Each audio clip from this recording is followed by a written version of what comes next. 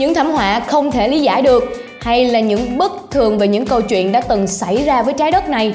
Các bạn đã chuẩn bị tinh thần sẵn sàng để cùng mình tìm hiểu chủ đề ngày hôm nay chưa? Nếu như mà các bạn đã sẵn sàng rồi thì còn chờ gì nữa hãy cùng mình đến ngay với top hiện tượng không thể giải thích được. 9. The Merging. Vào năm 1953, Trung úy Felix Moncla là phi công của không quân Hoa Kỳ đã đóng quân tại căn cứ không quân King Cross ở Michigan. Lúc đang trong ca trực, Moncla được nhận lệnh xuất kích để làm rõ vật thể bay không xác định, được cho là UFO xuất hiện trên radar. Ngay sau đó, anh đã lái một chiếc F-89 Scorpion là chiếc tiêm kích có thể bay trong mọi thời tiết. Ngay lập tức, một số trạm radar mặt đất cùng nhau theo dõi cuộc rượt đuổi trên. Một trong số những nhân viên phục vụ ở trạm radar Ban Creek, bang Michigan đã kể lại rằng Lúc đầu Moncla thông báo không nhìn thấy mục tiêu, nhưng trên màn hình radar lại thấy rất rõ dấu của một vật thể lạ. Một lúc sau, khi Moncla đã tiếp cận gần hơn, Moncla đã vội thông báo lại rằng anh đã nhìn thấy mục tiêu và muốn được tiếp cận gần hơn. Thế nhưng lời nói của Moncla không hiểu sao lại cứ bị tạp âm làm ác tiếng đi. Cứ mỗi lúc Moncla định nói gì đó, tiếng của anh lại trở nên nhíu nhíu và khó nghe hơn. Chỉ khi phi công chuyển lời về mặt đất thì tạp âm mới xuất hiện. Trên radar, khi dấu máy bay hòa nhập với dấu của vật thể, bỗng nhiên mọi thứ trở nên tĩnh lặng.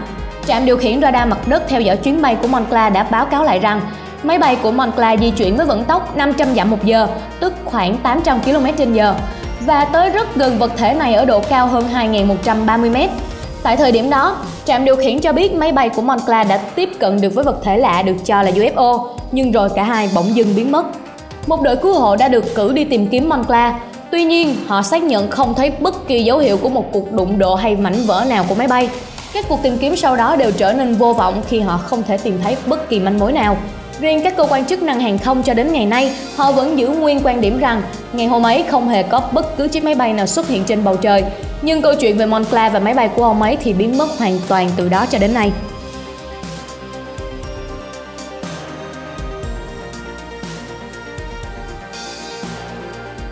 8. Albert Osman Vào năm 1924, Albert Osman, một người thợ gỗ đã đến khu vực gần Toba Inlet, British Columbia để nghỉ mát. Osman đã nghe những câu chuyện về Bigfoot, quái vật chân to, hay còn được gọi là Sasquatch, những con vật được cho có thể đi lại bằng hai chân giống người, nhưng toàn thân thì lông lá trông như một con khỉ. Albert Osman cho biết khi Osman nằm trong túi ngủ lúc buổi tối, một Sasquatch đã nhấc bổng và bế anh ta lên.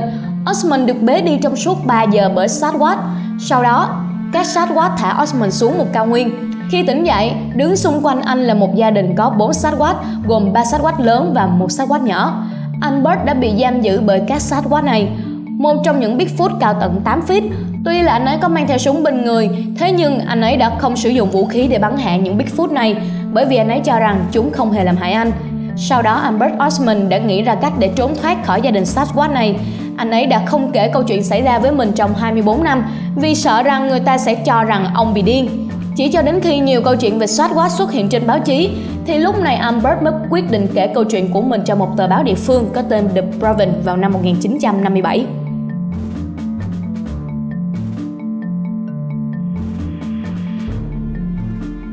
Bảy, Chiba Fofai dị thường trong suốt thế kỷ 20, khách du lịch ở Congo đã báo cáo rằng họ nhìn thấy một con nhện khổng lồ có đường kính 3 feet. Nó chạy dọc theo các con đường và bám trên cây. Người bản địa đã mô tả gần như là chi tiết về loài nhện quái vật này như sau. Chúng là những sinh vật vô cùng quái dị. Chúng nhện mạng lưới giữa hai cái cây rồi thu thập toàn bộ lá của cây đó. Theo phán đoán của người bản địa, rất có khả năng đây chính là một người anh em họ lớn hơn nhiều so với loài Goliath Spider 12 inch của Brazil. 6. Antamahaha Trong văn hóa dân gian Georgia, Antamahaha là một sinh vật huyền thoại, được cho là cư ngụ trong vô số dòng suối nhỏ, cũng như là những cánh đồng lúa bỏ hoang gần cửa sông Antamaha ở phía đông nam Georgia, Hoa Kỳ. Sinh vật này có người đã mô tả rằng nhìn nó có vẻ trông giống như là một con rắn, nhưng có người lại cho rằng nó trông giống như một con cá tầm khổng lồ hơn, đầu của nó có hình dạng thì như cá sấu, chiều dài tận 30 feet. Bộ lạc Tama trong thời kỳ lịch sử cũng đã từng mô tả về một con vật có hình dạng giống y như Antamahaha. Một số nhà nghiên cứu đã đưa ra nhận định rằng Antamahaha có thể là một loài bò sát sống ở đại dương, nhưng về sau nó lại di chuyển vào khu vực hồ nước ngọt để sinh sản. Và họ cũng cho biết thêm, một số loài cá sấu nước mặn của Úc cũng di chuyển vào khu vực nước ngọt để sinh sản giống y như là Antamahaha, nên cũng rất có thể Antamahaha thuộc một họ của cá sấu, nhưng chắc là do chúng chưa phổ biến bởi vì cơ thể kỳ dị và quái lạ của mình.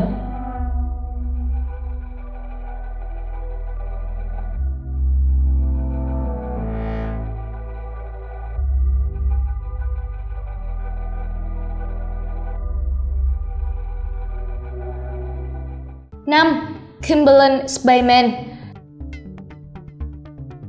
vào một ngày hè rực rỡ của năm 1964, ông Jim Templeton đã chụp ảnh cho con gái khi họ đang dạo chơi ở bên ngoài. Khi chụp ảnh, ông Templeton đã không để ý thấy bất cứ điều gì lạ tại khu vực họ đứng. Nhưng sau khi rửa bức ảnh ra, ông mới nhận thấy nhân vật trông giống như là một người ngoài hành tinh đứng ở bên phải con gái mình. Khi các nhà hóa học cho rằng bức ảnh đó đã bị hỏng, thì ông Templeton đã mang bức ảnh đó đến đồn cảnh sát ở địa phương và cơ quan này đã tuyên bố bức ảnh ông chụp hoàn toàn ở trạng thái bình thường.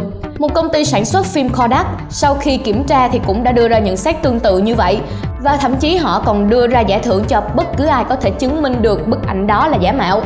Tuy vậy, cơn sốt săn tìm bí ẩn trong bức ảnh đã lan rộng trong giới truyền thông, từ tờ Kimberley News, Daily Mail đến Express. Ông Templeton đã bắt đầu nhận được thư từ khắp nơi trên thế giới. Tiến sĩ Clark, tác giả của nhiều cuốn sách nói về người ngoài hành tinh đã từng nói rằng một vài người cho rằng cái bóng trắng đó là một linh hồn, số khác lại tin rằng Jim hoặc con gái ông ta có năng lực tâm linh mà họ không hề hay biết. Điều này thực sự đã ngày càng kỳ lạ hơn.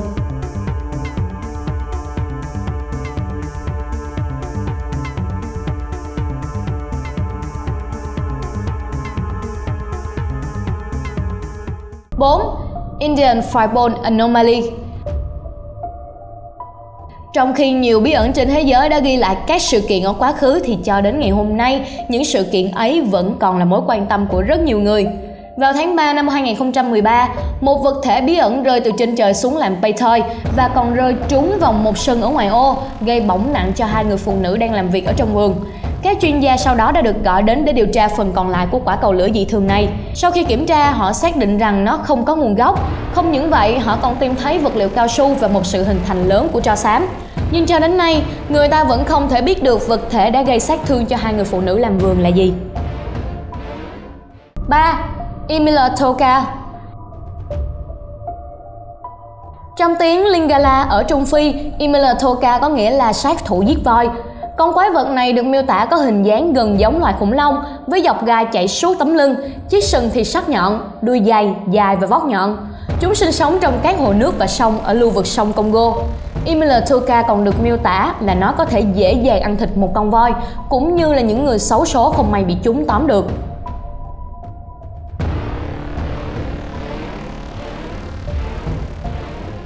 hai Kẻ thả chất độc điên cuồng Kẻ thả chất độc điên cuồng, kẻ rình mò gây mê hay là kẻ gây mê ma quái chính là cái tên dành cho kẻ được cho là người đã gây ra một loạt các vụ tấn công bằng khí độc ở Mayton. Vào giữa thập niên 1940, hơn 20 vụ thả chất độc đã được báo cáo với cảnh sát liên tục trong suốt hai tuần lễ. Ngoài ra, cảnh sát còn nhận được nhiều báo cáo khác về một kẻ tình nghi.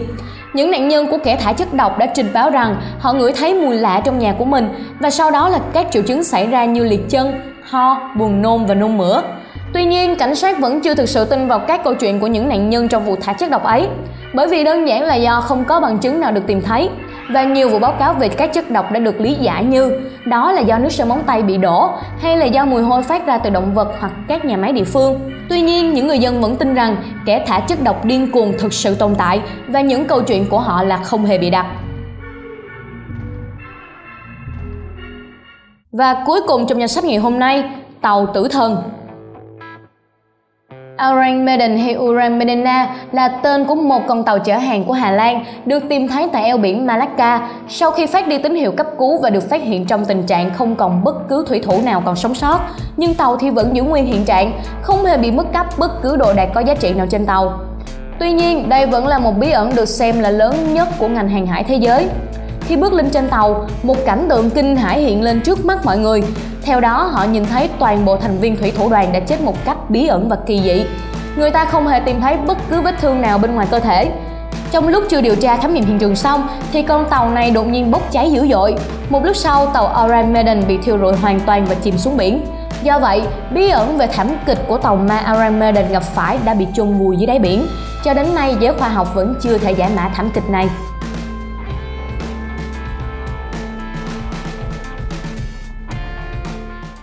Những thông tin vừa rồi cũng đã kết thúc video lần này của Bin Top. Nếu như các khán giả của Bin Top muốn tìm hiểu về chủ đề nào thì hãy để lại bình luận bên dưới cho tụi mình biết nhé.